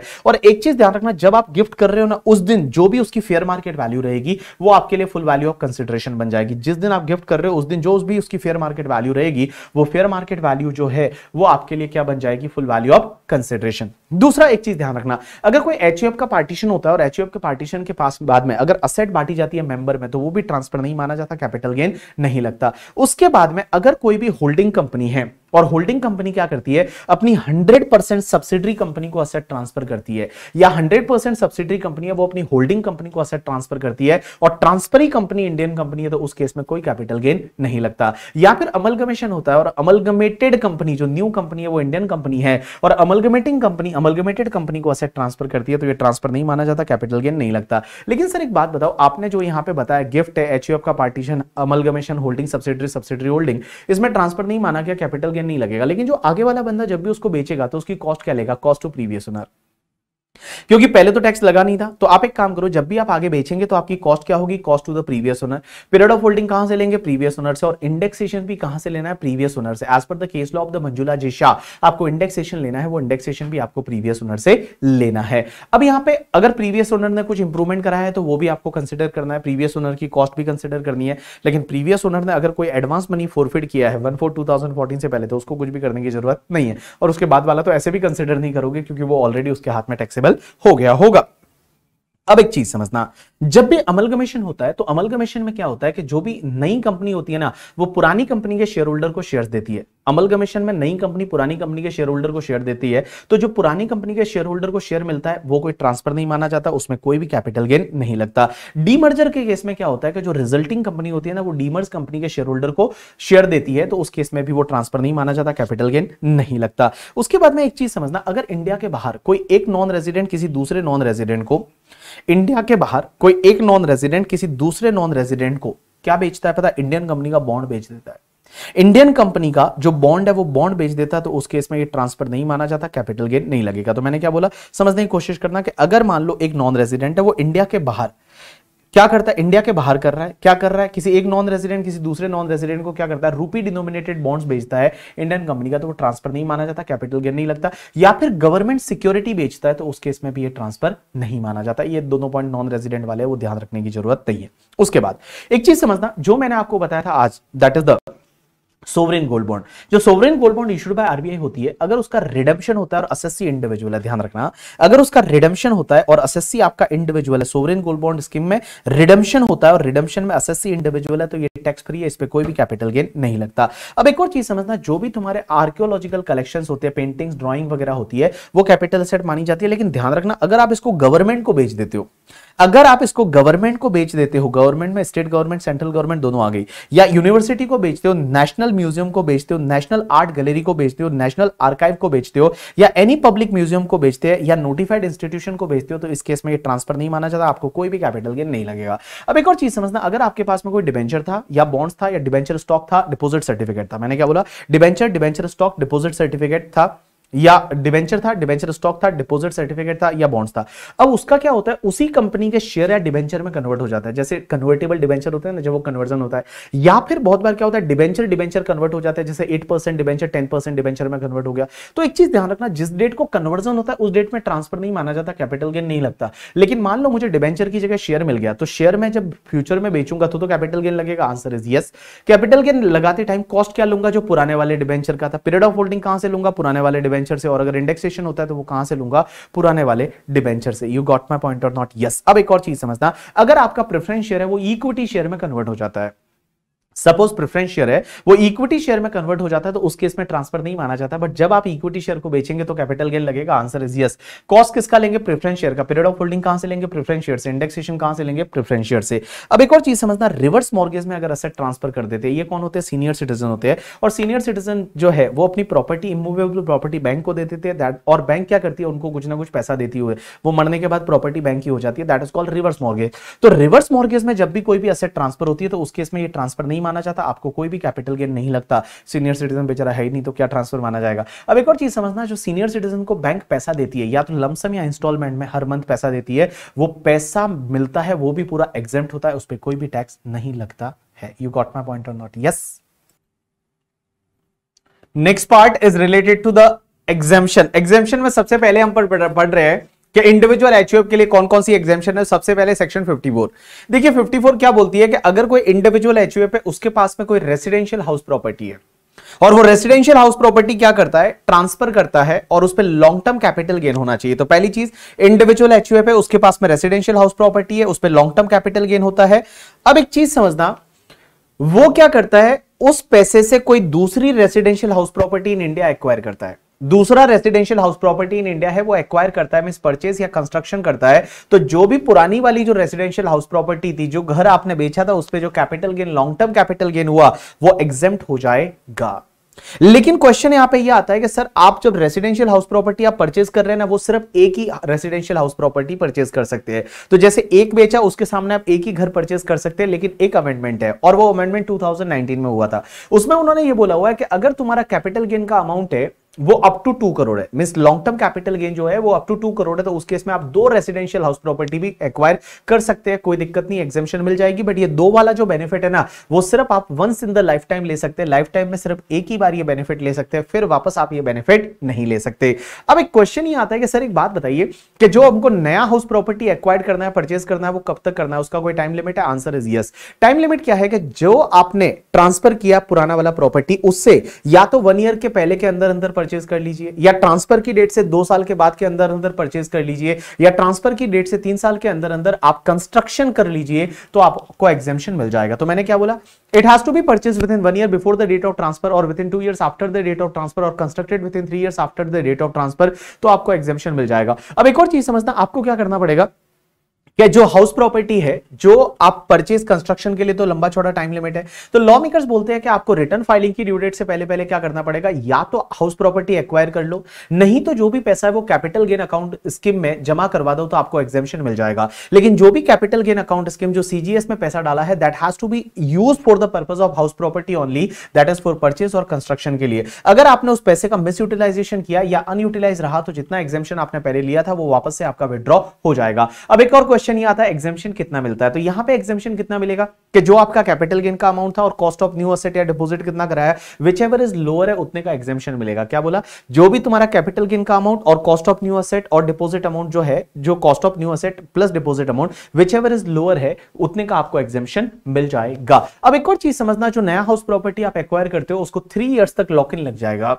मीन उसको आप ट्रांसफ़र नहीं कर सकते within three years from the date of acquisition अगर आपने तीन साल में ट्रांसफ़र कर दिया तो नए हाउस प्रॉपर्टी में जब आप कैपिटल गेन का कैलकुलेट करोगे ना तो जितना पहले एग्जामेशन लिया था, वो नए हाउस प्रॉपर्टी की कॉस्ट में से लेस हो जाएगा। तो नए हाउस प्रॉपर्टी पे कैपिटल गेन कैलकुलेट करते टाइम जो भी नए हाउस प्रॉपर्टी की कॉस्ट थी, उसमें से जितना आपने पहले एग्जामेशन लिया था, वो लेस हो जाएगा और रिड्यूस कॉस्ट है, वो आपको लेना पड़ेगा। दैट इज़ सेक्शन फिफ्टी अब एक सेक्शन होती है fifty four B fifty four B ये बोलती है कि अगर कोई इंडिविजुअल एच है और वो इंडिविजुअल एच के पास में कोई अर्बन एग्रीकल्चर लैंड है और वो अर्बन एग्रीकल्चर लैंड उस इंडिविजुअल या उसके पेरेंट्स ने या एच के मेंबर ने, उसको लास्ट टू ईयर्स तक लास्ट टू ईयर्स है, वो एटलीस्ट उन्होंने एग्रीकल्चर पर्पज के लिए यूज़ किया है। वो उस अर्बन एग्रीकल्चर लैंड को ट्रांसफ़र कर देते हैं और ट्रांसफ़र की डेट से दो साल के अंदर अंदर ट्रांसफ़र की डेट से दो साल के अंदर अंदर कोई अर्बन या रूरल एग्रीकल्चर लैंड है, वो एक्वायर कर लेते हैं तो उस केस में क्या होगा कि जो भी कैपिटल गेन है, वो शॉर्ट टर्म लॉन्ग टर्म पुराना कोई भी है, वो तुम्हारा क्या हो जाएगा एग्ज़ाम हो जाएगा। You got my point or not yes बाकी जितने भी पॉइंट है, वो सेम 54 के जैसे के जैसे। अब एक सेक्शन है 54 डी 54 डी क्या बोलती है? पहली चीज़ this section is applicable to the all assessee all assessee में इंडिविजुअल एच कंपनी पार्टनरशिप हम सबके लिए है। ये सेक्शन बोलती है कि अगर आपका इंडस्ट्रियल लैंड एंड बिल्डिंग है, और वो इंडस्ट्रियल लैंड एंड बिल्डिंग है, वो कंपलसरीली एक्वायर्ड हो जाता है। जो इंडस्ट्रियल लैंड एंड बिल्डिंग है, वो कंपलसरीली एक्वायर्ड हो जाता है, और उस पर आपको लॉन्ग टर्म या शॉर्ट टर्म कैपिटल गेन है। आप उस पैसे से क्या करते हैं? दूसरा कोई इंडस्ट्रियल लैंड एंड बिल्डिंग है, वो परचेज या कंस्ट्रक्ट करते हैं तो उस केस में एग्जामेशन मिल जाएगा। लेकिन कब तक करना है? Within three years from the date of not transfer within three years from the date of receipt of compensation जब आपको कंपनसेशन मिलेगा, वहाँ से तीन साल के अंदर अंदर आप नया इंडस्ट्रियल लैंड एंड बिल्डिंग है, वो एक्वायर कर लेंगे तो आपको एग्जामेशन मिल जाएगी। बाकी सब चीज़ें वैसी की वैसी, जैसा फिफ्टी में पड़ा है। एक सेक्शन होती है fifty four EC fifty four EC क्या बोलती है कि अगर कोई भी पर्सन है एनी पर्सन अगर उसने ट्रांसफ़र किया लैंड बिल्डिंग और बोथ इन सिंपल वर्ड बता दो इमूवेबल प्रॉपर्टी तो कोई भी असेसी उसने इमूवेबल प्रॉपर्टी ट्रांसफ़र किया और उस पर अगर लॉन्ग टर्म कैपिटल गेन होता है, उस पर लॉन्ग टर्म कैपिटल गेन होता है, वो एग्ज़ाम हो जाएगा। अगर ट्रांसफ़र की डेट से सिक्स मंथ के अंदर अंदर उसने एनएचआई आरईसीएल पीएफसीएल या आईआरएफसीएल के बॉन्ड खरीद लिए। यहाँ एनएचआई का मतलब होता है national highway authority of India rural electrification corporation limited power finance corporation limited और Indian railway finance corporation limited के आप बॉन्ड्स खरीदे और ऐसे बॉन्ड्स खरीदे जो फाइव ईयर्स के बाद ही रिडम्शन हो सकते हैं। मीन फाइव ईयर वाले जो बॉन्ड है, वो आप अगर खरीदते हैं तो आपको एग्जामेशन मिल जाएगा। अब इसमें एक चीज़ ध्यान रखना, यहाँ पे एग्जामेशन आप मैक्सिमम 50 लाख का ले सकते हैं, उससे ज़्यादा का एग्जामेशन नहीं ले सकते। मीन इस एक साल में, जैसे आपने ट्रांसफ़र किया, उससे छह महीने के अंदर अंदर जितने भी आप बॉन्ड्स एक्वायर करेंगे मैक्सिमम फिफ्टी लाख का एग्जामेशन ले सकते हैं, उससे ज़्यादा का एग्जामेशन आप नहीं ले सकते। इसमें कैपिटल गेन अकाउंट स्कीम वगैरह है, वो नहीं लगेगा। और उसके साथ साथ में एक और चीज़ ध्यान रखना, इसमें एग्जामेशन कितना मिलेगा? जो कैपिटल गेन है या cost of new bond whichever is lower है, उतने का एग्जामेशन मिल जाएगा। लेकिन मैक्सिमम एग्जामेशन आप पचास लाख का ही ले सकते हैं। एक और चीज़ समझना, जो भी तुम्हारा बॉन्ड आपने खरीदा एनएचए आरईसीएल पीएफसीएल आईआरसीएल का, एक तो उस बॉन्ड को नेक्स्ट फाइव ईयर्स तक ट्रांसफ़र नहीं कर सकते यहाँ पाँच साल का लॉक इन लगेगा। और पाँच साल में एक तो ट्रांसफ़र नहीं कर सकते, और दूसरी चीज़, उस पाँच साल में उसको कन्वर्टेबल इंटू मनी भी नहीं कर सकते। या कन्वर्टेबल इंटू मनी का मतलब होता है कि उस बॉन्ड्स को कहीं पे गिरवी रख के आप लोन भी नहीं ले सकते। उस बॉन्ड्स को कहीं गिरवी रख के आप लोन भी नहीं ले सकते। अगर आप ऐसा करते हैं तो उस केस में क्या होगा कि जितना पहले एग्जेम्पन आपने लिया था, वो वापस से विड्रॉ होकर लॉन्ग टर्म कैपिटल गेन बन जाएगा उस ईयर में, जिस ईयर में वायलेशन होता है। लास्ट सेक्शन इज़ 54 एफ़ ये सेक्शन बोलती है, आप कुछ भी बेचिए। मीन्स एनी असेट बेचिए other than residential house property आप कुछ भी एसेट बेचिए, आप इंडिविजुअल एच पे आप one residential house property in India acquire करते हैं, आपको एग्जामेशन मिल जाएगा। मीन्स आप कुछ भी बेचिए मीन्स एनी एल बेचिए, उस पर लॉन्ग टर्म कैपिटल गेन होना चाहिए। आप one residential house property in India खरीदते हैं, आपको एग्जामेशन मिल जाएगा। सर टाइम लिमिट क्या रहेगा? वही फिफ्टी में जैसा दे रखा था minus one plus two plus three का है, वो आपका टाइम लिमिट रहेगा। अब एक चीज़ समझना, यहाँ कैपिटल गेन अकाउंट स्कीम लगेगा आंसर इज़ यस लेकिन एक और चीज़ समझना, यहाँ पे आपको एग्जामेशन प्रोपोर्शनेट मिलता है, कैसे? अभी तक हमने क्या पढ़ा एग्जामेशन कैसे मिलेगा कैपिटल गेन और cost of new asset whichever is lower लेकिन इसमें एग्जामेशन कैसे मिलेगा, कि आपका नेट कंसिडरेशन अगर फुल्ली यूटिलाइज हो गया तो capital gain is fully exempt but अगर नेट कंसिडरेशन पार्टली यूटिलाइज होता है तो कैपिटल गेन आपको प्रोपोर्शनेटली एग्जामेशन मिलेगा, कैसे? जो भी लॉन्ग टर्म कैपिटल गेन है multiply by cost of new asset divide by net consideration क्या बोला? Long term capital gain multiply by cost of new asset divide by net consideration इस proportion में आपको एग्जामेशन मिलेगा। क्या बोला? जो लॉन्ग टर्म कैपिटल गेन है multiply by cost of new asset divide by net consideration ऐसे प्रोपोर्शन में एग्जामेशन मिलेगा। अब एक और चीज़ समझना है, जो नया हाउस प्रॉपर्टी आप एक्वायर कर रहे हो, उसको आप तीन साल तक ट्रांसफ़र नहीं कर सकते। अगर आपने किया तो नए हाउस प्रॉपर्टी पे कैपिटल गेन आप सेपरेटली कैलकुलेट कर लो। जितना पहले एग्जामेशन लिया था, वो विड्रॉ हो जाएगा और लॉन्ग टर्म कैपिटल गेन बन जाएगा। उस ईयर में, जिस ईयर में आप नया हाउस प्रॉपर्टी ट्रांसफ़र करते हैं। अब एक बात समझना, इस सेक्शन में दो कंडीशन एडिशनल है। पहली कंडीशन तो यह है कि 54F का एग्जामेशन आप नहीं ले सकते अगर ट्रांसफ़र की डेट पे आपके पास ऑलरेडी एक से ज़्यादा घर है। मीन्स अगर आपके पास एक से ज़्यादा ऑलरेडी घर है तो आप एग्जामेशन नहीं ले सकते। अगर आप ज़ीरो घर रोड पे रहते हैं तो एग्जामेशन ले सकते हैं। आपके पास एक घर ऑलरेडी और फिर आप एक और घर खरीदना चाहते हैं एग्जामेशन ले सकते हैं बट ऑलरेडी आपके पास दो घर है तो ये एग्जामेशन नहीं ले सकते। दूसरी चीज़, इस सेक्शन में आप एक ही घर खरीद सकते हैं। इसमें वो दो घर वाला सर कोई ऑप्शन है क्या? जैसा फिफ्टी में था अप टू टू करोड़ वाला। आंसर इज़ नो यहाँ पे ऐसा नहीं है। आप एक ही घर खरीद सकते हैं। और एक और चीज़ समझना, जो आपका प्लस टू प्लस थ्री वाला टाइम है, उसमें आप एक ही घर कंस्ट्रक्ट या कर सकते हैं, या एक ही घर खरीद सकते हैं। अगर आपने और कोई खरीदा तो जो एग्जामेशन पहले मिला था, वो वापस से आपका विड्रॉ हो जाएगा करके, ठीक है?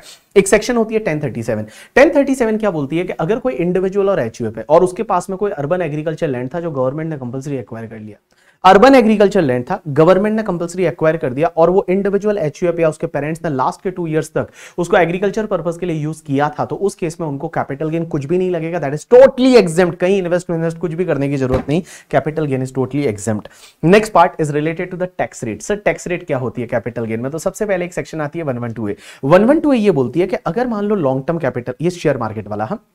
देखो वन वन टू क्या बोलती है कि अगर आपको लॉन्ग टर्म कैपिटल गेन होता है, किस पे? या तो इक्विटी शेयर पे इक्विटी ओरिएंटेड म्यूचुअल फंड की यूनिट्स पे या यूनिट्स ऑफ़ बिज़नेस ट्रस्ट पे लॉन्ग टर्म कैपिटल गेन होता है तो वो long term capital gain taxable हो जाएगा at the rate ten percent in excess of the one lakh one lakh से ऊपर वाला जितना भी रहेगा, उस पर टेन परसेंट की रेट से टैक्सेबल हो जाएगा, लेकिन उसमें कंडीशन है। कंडीशन ये है कि भैया इक्विटी शेयर के केस में आपको एक्विजिशन और ट्रांसफ़र दोनों टाइम पे एसटीटी पे करना पड़ेगा, और यूनिट्स के केस में सिर्फ़ सेल के टाइम पे आपको एसटीटी है, वो एसटीटी पे करना पड़ेगा। अब एक और चीज़ समझना जो आई आईएफएससी है आईएफएससी का मतलब होता है इंटरनेशनल फाइनेंशियल सर्विस सेंटर ये अहमदाबाद के पास में, गुजरात गांधीनगर के पास में, जिसको गिफ्ट सिटी बोला जाता है।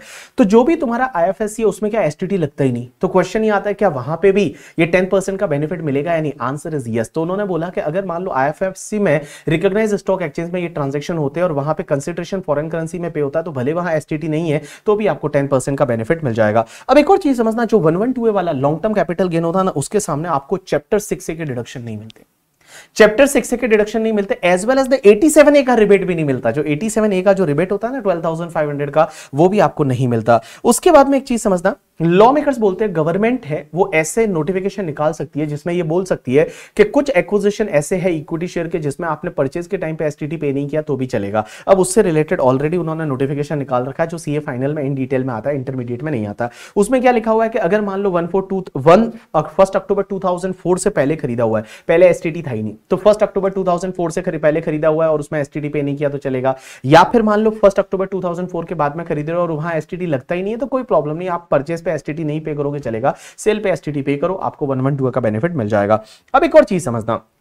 यहाँ पे एक सेक्शन 55 आती है। वो ये बोलती है कि अगर वन वन टू लगता है तो शेयर की कॉस्ट क्या लेने का? तो जितने में खरीदा था वो कॉस्ट है, लेकिन एक बात समझना, ये अमेंडमेंट जो आया था ना, ये फ़र्स्ट अप्रैल 2018 से आया था। फ़र्स्ट अप्रैल 2018 से अरुण जेटली जी ने लाया था। तो यहाँ पे एक ग्रैंड फादरिंग रूल दिया गया। और उन्होंने बोला कि अगर मान लो आप जो है, अगर कोई इक्विटी शेयर है equity oriented mutual fund units of business trust और वो आप सेल कर रहे हो, उस पर वन वन टू लग रहा है। और वो अगर आपने परचेस किया हुआ है फ़र्स्ट फेब 2018 से पहले फ़र्स्ट फेब 2018 ये डेट जो 2018 का बजट आया था।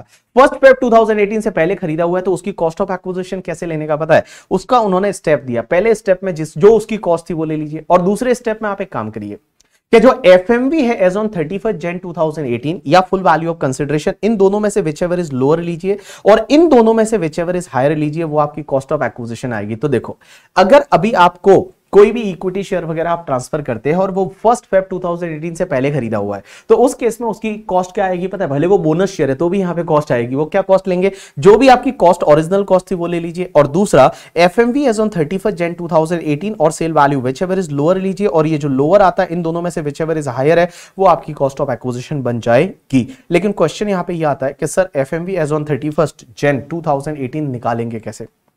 क्योंकि आपको 35 जेड 2018 की एफएमवी या फुल वैल्यू ऑफ़ कंसिडरेशन ये लोअर और जो लोअर आता है, और आपकी कॉस्ट जो है विच एवर इज़ हायर ये आपकी कॉस्ट ऑफ़ एक्विजिशन बनानी है। तो sir F M as on thirty Jan two निकालेंगे कैसे? तो देखो, अगर थर्टी जेन टू को वो जो यूनिट्स है, या शेयर है, वो लिस्टेड है in the recognise stock exchange BSC NSC में लिस्टेड है तो आप एक काम करिए, उस दिन जो हाइएस्ट कोड कितना आया था हाइएस्ट प्राइस कितना आया था, वो आपका हो जाएगा F M as on thirty Jan two but मान लो उस दिन ट्रेडिंग नहीं हुआ तो उसके पिछले कौन से दिन ट्रेडिंग हुआ था? तो पिछले जो भी दिन ट्रेडिंग ट्रेडिंग हुआ था, उस दिन का हाईएस्ट कोड कितना था, वो तुम्हारा एफएमवी हो जाएगा। लेकिन सर एक बात बताओ, अगर वो यूनिट या शेयर है, वो थर्टी फ़र्स्ट जन टू को लिस्टेड था ही नहीं। अभी लिस्टेड है बट उस टाइम पे लिस्टेड नहीं था। तो उसकी कॉस्ट ऑफ़ एक्विजिशन कैसे लेंगे?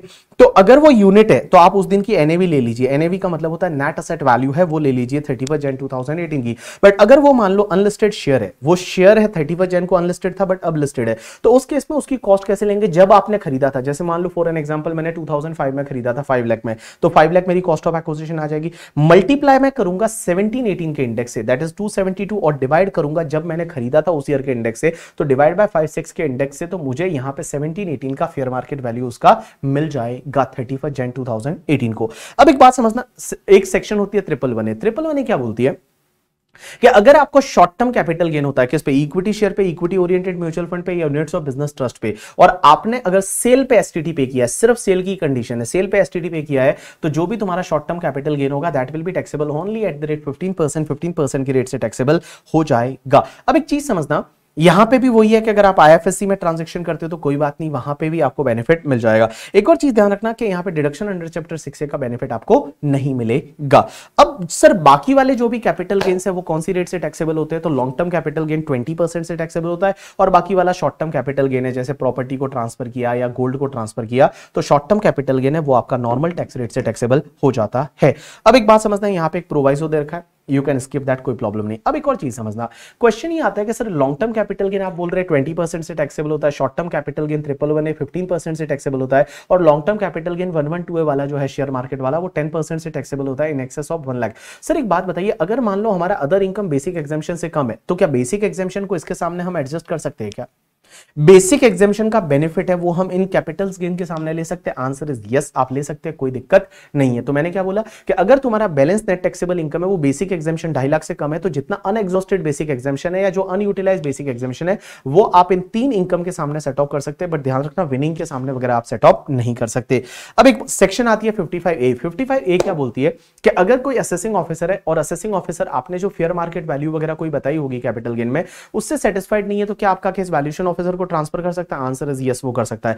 पहला, अगर आपने फेयर मार्केट वैल्यू किसी रजिस्टर्ड वैल्यूर का रिपोर्ट के हिसाब से बताई है तो और उस केस में यो को लगता है कि नहीं नहीं, सही नहीं है तो उस केस में आपका केस वैल्यूशन ऑफिसर को ट्रांसफ़र कर सकता है। दूसरा, अगर मान लो आप रजिस्टर्ड वैल्यूर के हिसाब से वैल्यू नहीं निकालते लेकिन एओ को लगता है कि एओ का फेयर मार्केट वैल्यू आपके फेयर मार्केट वैल्यू से ज़्यादा है और कितना ज़्यादा है पता है? 15 परसेंट ऑफ़ जितना आपने वैल्यू बताया आपने वैल्यू बताया उसके 15 परसेंट या 25,000 विच एवर इज़ लोअर जो अमाउंट आएगा अगर उससे ज़्यादा है तो उस केस में एओ आपका केस है वो वैल्यूशन ऑफिसर को ट्रांसफ़र कर सकता है। अब एक और चीज़ यहाँ पर समझना है इसमें लास्ट पॉइंट ये बोलता है कि वेन अगर एओ को लगता है करके ठीक है ऊपर वाली कंडीशन सेटिस्फाइड भी नहीं होती है बट अगर उसको having regards to the nature of asset या other relevant circumstances, it is necessary so to do. अगर ये करना ज़रूरी है तो उस केस में वो आपका केस है, वो ट्रांसफ़र कर सकता है किसको? वैल्यूशन ऑफिसर को। Next part and next topic is related to amalgamation and demerger अब एक छोटे छोटे टॉपिक है जो आपके एग्ज़ाम में इतने आते हैं नहीं बट मटेरियल में दे रखे हैं, इसके लिए मैं बता रहा हूँ। देखो अमल कमीशन क्या होता है? अमलगमेशन किसको बोलते हैं बताए कि जब या तो दो कंपनी आपस में मर्ज हो जाती है। दो कंपनी है, वो आपस में मर्ज होकर और तीसरी कंपनी बनाती है दैट इज़ कॉल अमलगमेशन या फिर क्या होता है, एक कंपनी दूसरी कंपनी में एब्जॉर्ब हो जाती है that is call amalgamation amalgamation amalgamation तब माना जाएगा जब दो कंडीशन सेटिस्फाइड होनी चाहिए। पहली कंडीशन पुरानी कंपनी की all asset and liability new company को ट्रांसफ़र होनी चाहिए और पुरानी कंपनी के जो शेयर होल्डर है at least seventy five percent share holder है, वो न्यू कंपनी के शेयर होल्डर बनने चाहिए। अगर ये दोनों कंडीशन सेटिस्फाइड हो जाती है तो उस केस में ये अमलगमेशन माना जाएगा। अब एक बात बताओ अमलगमेशन के केस में शेयर होल्डर के हाथ में क्या होगा? कुछ भी टैक्स नहीं लगेगा। शेयर होल्डर को जो पुराने शेयर के बदले नई कंपनी का शेयर मिलेगा ये ट्रांसफ़र नहीं माना जाता कैपिटल गेन नहीं लगता। अब एक बात बताओ, जो नई कंपनी का शेयर उसने बेचा तो उस टाइम पे कैपिटल गेन लगेगा? आंसर इज़ यस कॉस्ट क्या लेंगे? पुरानी कंपनी के शेयर का पीरियड ऑफ़ होल्डिंग पुरानी कंपनी के शेयर से और इंडेक्सेशन भी पुरानी कंपनी के शेयर से। अब एक और बात बताओ, जो पुरानी कंपनी होती है, जब वो असेट ट्रांसफ़र करती है तो क्या ट्रांसफ़र माना जाता है? आंसर इज़ नो अब एक और बात बताओ, जो नई कंपनी है, वो जब असेट को बेचेगी तो कैपिटल गेन लगेगा? क्योंकि पुरानी कंपनी से असेट मिली थी। जब वो बेचेगी तो कैपिटल गेन लगेगा? आंसर इज़ यस कॉस्ट क्या लेंगे? पुरानी कंपनी का पीरियड ऑफ़ होल्डिंग कहाँ से? पुरानी कंपनी से और इंडेक्सेशन होता है तो वो भी पुरानी कंपनी से that is call your amalgamation उसके बाद एक कंसेप्ट आता है डीमर्जर डीमर्जर क्या होता है कि अगर कोई कंपनी है, उसका कोई सेगमेंट तोड़ के एक नई कंपनी बना दी जाती है दैट इज़ कॉल्ड डीमर्जर जैसे मान लो एक कंपनी है, जिसका नाम है टाइटन लिमिटेड टाइटन लिमिटेड के दो सेगमेंट है, एक ज्वेलरी वाला और एक तुम्हारा वॉच वाला. इसमें ज्वेलरी सेगमेंट को तोड़ के और एक नई कंपनी बना देते हैं Tanishq limited that is called demerger demerger में जो नई कंपनी बनती है, उसको रिजल्टिंग कंपनी बोला जाता है और पुरानी कंपनी अपने साथ ही रहती है that is called your demerge company. अब एक बात समझना, डीमर्जर डीमर्जर तब माना जाएगा जब पाँच कंडीशन सेटिस्फाइड होगी। पहली कंडीशन यह है कि जो अंडरटेकिंग ट्रांसफ़र हो रहा है, उसके all asset and liabilities transfer होनी चाहिए।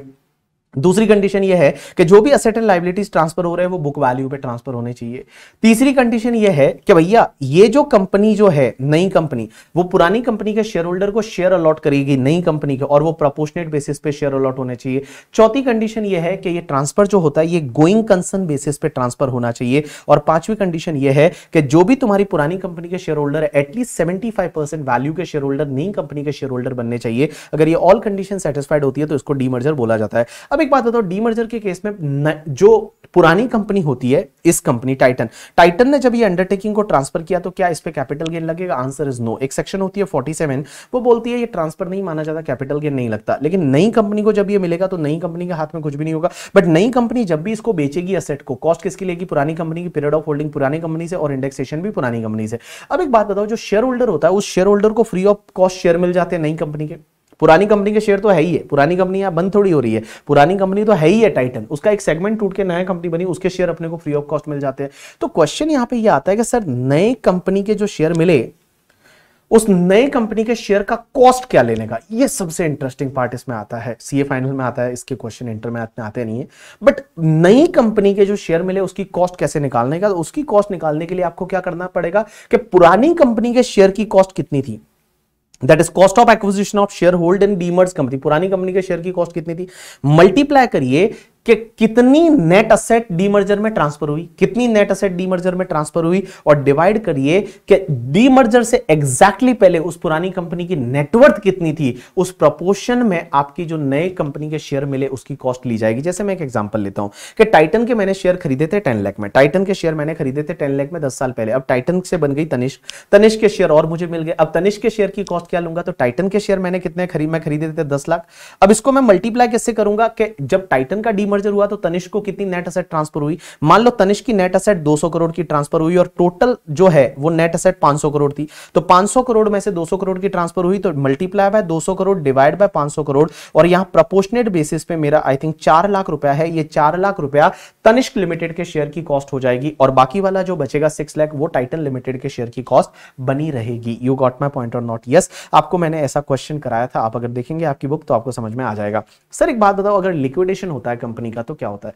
जब भी अगर किसी कंपनी का लिक्विडेशन होता है, एक चीज़ ध्यान रखना, लिक्विडेशन के केस में कंपनी के हाथ में कुछ भी नहीं होता, लेकिन कंपनी के हाथ में कुछ भी नहीं होता शेयर होल्डर के हाथ में टैक्स लगता है। एक तो शेयर होल्डर के हाथ में क्या माना जाता है? लिक्विडेशन के केस में मैं डिविडेंड टॉपिक में 222 सी बताऊँगा। और 222 सी का मतलब होता है close down of the company जब भी कोई कंपनी क्लोज डाउन हो जाती है तो उस केस में क्या होता है कि जो भी कंपनी असेट बांटती है शेयर होल्डर को तो उस केस में शेयर होल्डर के हाथ में डिविडेंड माना जाता है to the extent accumulated profit of the company mean जितना कंपनी का रिज़र्व एंड सरप्लस है, उस हद तक जो असेट बांटी गई शेयर होल्डर को, वो उसके लिए डीम डिविडेंड माना जाता है टू सी में, और शेयर होल्डर के हाथ में वो टैक्सेबल हो जाता है।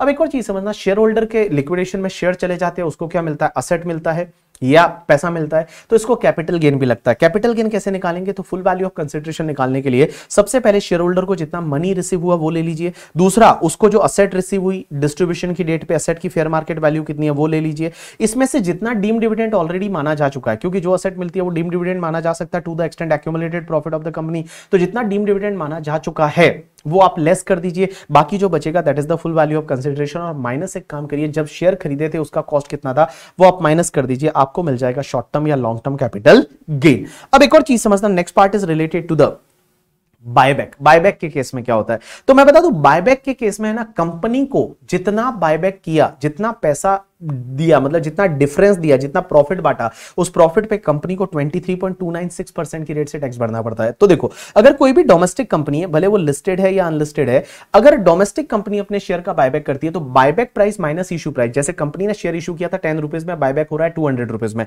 तो two hundred minus ten difference comes to the one ninety one ninety पे कंपनी को टैक्स भरना पड़ेगा twenty three point two nine six percent ये कैसे आया? ट्वेंटी परसेंट यहाँ पे टैक्स रेट है ट्वेल्व परसेंट सरचार्ज है four percent health and education cess है। तो twenty three point two nine six percent है, वो कंपनी टैक्स भरेगी और शेयर होल्डर के हाथ में फिर एग्ज़ाम हो जाएगा। शेयर होल्डर को कोई भी कैपिटल गेन नहीं लगता। In case of the buyback in case of the buyback share holder को कोई भी कैपिटल गेन नहीं लगता। अब यहाँ पे जो इशू प्राइस कैसे निकालते हैं शेयर की, उसके रूल्स होते हैं जो सीए फाइनल में आते हैं इंटरमीडिएट में नहीं आते। और कंपनी को क्या करना पड़ेगा? ये जो टैक्स है, ये टैक्स गवर्नमेंट को पे करना पड़ेगा। कितने दिन के अंदर अंदर पता ये गवर्नमेंट को टैक्स पे करना पड़ेगा within fourteen days from the date of buyback अगर ऐसा नहीं किया तो फिफ्टीन डेज़ से फिर वन पर मंथ और पार्ट ऑफ़ द मंथ की रेट से इंटरेस्ट लग जाएगा। So this is the completion of your topic capital gain.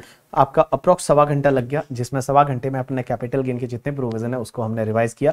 आप कम से कम आठ दस बार ये लेक्चर को सुनिए इधर उधर जाते हैं, तब भी आप देखिए आपको सब चीज़ें याद हो जाएगी, ठीक है? बाकी, जैसा मैं हमेशा बोलता हूँ, पढ़ते रहिए करके ठीक है? और बाकी आपके पास कोई ऑप्शन है नहीं। You have only one way that is the like you have to complete the C A करके ठीक है? बिकॉज़ क्या होता है ना, मैं आपको एक और चीज़ बता दूँ, कि जब अपन सी ए में फेल हो जाते हैं ना एक बार तो उसके बाद वो नंबर बढ़ते जाते हैं। एक बार फेल हुए, दो बार हुए, तीन बार हुए, चार बार हुए। हालत खराब हो जाती है। ज़िंदगी, मैं बताऊँ ना, क्या बोलूँ, बड़ी खराब हो जाती है। First attempt is always a golden attempt आप जो ये पहला एग्ज़ाम दे रहे हो ना, ये आपके लिए गोल्डन अटैम्प है। जो जो फ़र्स्ट अटेम्प दे रहे हैं just crack it in this particular attempt because आपके पास कोई प्रेशर नहीं है घर वालों का प्रेशर नहीं है, बाकी कोई रिलेटिव का प्रेशर नहीं है, कोई पूछने वाला नहीं है, आपको घर वाले भी कुछ बोलने वाले नहीं है। बुक्स भी पहली बार आप पढ़ रहे हो just crack it in this particular exam otherwise जब सेकेंड टाइम बुक्स को पढ़ना पुरानी वाली, बड़ा दुख होता है। और इनकम टैक्स में बहुत अमेंडमेंट्स वगैरह आते रहते हैं। तो मैं आपको यही बोलूँगा just you have to focus to your study and उसके अलावा आपके पास कुछ भी नहीं है। जस्ट आप पढ़ाई करिए और अच्छे से पढ़ाई करिए। फिर अपन मिलते हैं नेक्स्ट रिविजन लेक्चर में। Thanks a lot people